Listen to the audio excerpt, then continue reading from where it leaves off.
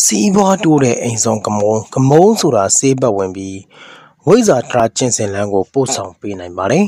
။ဥစ္စာစည်းစိမ်ချမ်းသာနဲ့လည်းပြည့်စုံစေနိုင်တဲ့အပြင်စုံနက်ပရောဂဘေးရန်သူဘေးလည်းကာကွယ်ပေးတယ်။လောကီပညာရဲ့စမ်းကြင်မှုကိုဖန်တီးပေးရမှာကမုံဟာလည်းအပါဝင်ဖြစ်တယ်လို့ရှေ့ရှိကပညာရှင်ကြီးတွေကပြောခဲ့ပါတယ်။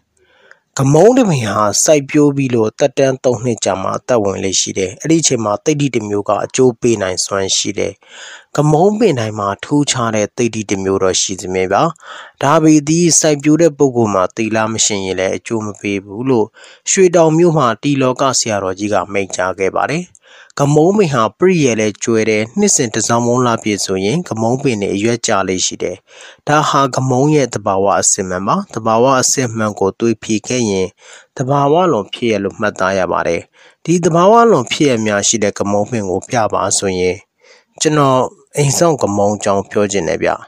ဘာကြောင့်လဲဆိုတော့ဒီကမုံပင်ဟာအရွယ်လဲမကျွေအသီးလဲမသီးထာဝရစိမ့်ဆိုနေတဲ့ကမုံပင်ထူပါ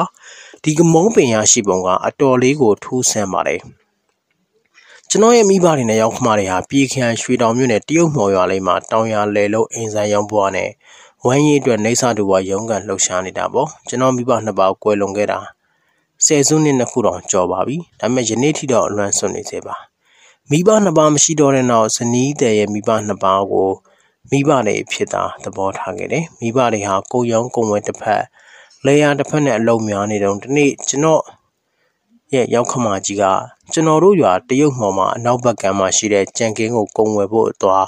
အိမ်အိမ်ကိုရောက်တော့ထူးခြားတဲ့အပင်ကိုတွေ့တယ်။ဒါဘာပင်လို့ခေါ်လဲ။အဲ့ဒီမှာအင်ရှင်မျိုးသမီးကဒီပင်ကိုအိမ်ဆောင်ကမုံလို့ခေါ်တယ်တဲ့။ကျမရဲ့ဘိုးဘွားတွေလက်ထက်ကစိုက်ပျိုးလာတာပါတဲ့။ဘာများထူးခြားလဲဆိုတော့တဲ့အိမ်မှာစီးပွားလက်လာပါတိုးပွားတယ်။ ရှိမြဲဥစ္စာမြဲမြံတယ်အင်ကိုကာကွယ်ဆော့ရှောက်တယ်တခိုးတမရန်ကလည်းကာကွယ်ပေးတယ်တဲ့ဒါနဲ့ရောက်ခမကြီးကတောင်းလာပါတယ်ဟာအဲ့ဒါဆိုရင်တော့ကိုနည်းနည်းလောက်ပေးပါလားတဲ့ဘိုးဘွားလက်ထက်ကလေးကစိုက်ပြိုးလာလို့ဘယ်သူမှမပေးရဘူးမှားထားလို့မပေးနိုင်ဘူးစိတ်မရှိပါနဲ့တဲ့အမေအဲ့ဒါနဲ့ရောက်ခမကြီးကအိမ်ပေါ်ကအစင်အင်ရှင်တထေးမျိုးသားကမျက်စိမှိတ်ပြီးပြန်ရန်ပြောလိုက်ပါတယ် ဒါနဲ့ပဲရောက်ခမကြီးလည်းမော်တော်စိတ်ဆင်းပြီးမော်တော်ပေါ်လည်းတက်ရောဆိုင်ကယ်နဲ့တထေးရောက်လာပြီးတထွာခန့်ရှိတဲ့ကမုံကိုင်းလေးပေးပါတယ်တထေးကခိုးဆိုင်မှာတိတ်တီထူတာဗျာလို့ပြောပြီးပြန်တော့ပါတယ်ဒါနဲ့ဝမ်းသာအားရရောက်ခမကြီးလည်းယူလာပြီးစိုက်ပါတော့တယ်အကျိုးပြီးတော့အကြောင်းထင်ဆိုတကယ်တော့အပင်လဲစင်းစင်းဆူဝေးစားလာဖြစ်ရော အဲ့ဒီနှစ်မှာစံစည်းတွေကောင်းစပားစည်းမြေပဲစည်းတွေကောင်းပြီးတဟုန်တိုးစီးပွားတက်ခဲ့တယ်။အခုကတရုတ်မော်ရွာမှာနံပါတ်1နေရာယူထားပါတော့တယ်။2012ခုနှစ်မှာရွာကနေရွှေတောင်မြို့ကြာနီကန်ရက်ကိုပြီးပိုင်ပြောင်းရွှေ့ခဲ့ပါတယ်။ကျွန်တော်ရောက်ခမကြီးပြိုးပြီးသားအပင်လေးတစ်ပင်ပေးလိုက်တာအခုခါအိမ်မှာသုံးပင်တောင်ပွားနေပါပြီ။အပင်ပွားသလိုစီးပွားရေးလည်းတိုးပွားလာပါတယ်။ဒါကြောင့်မို့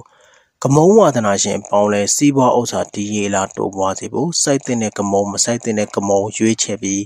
စိုက်ပျိုးပါလို့ပြောချင်ပါတယ်ဗျာ။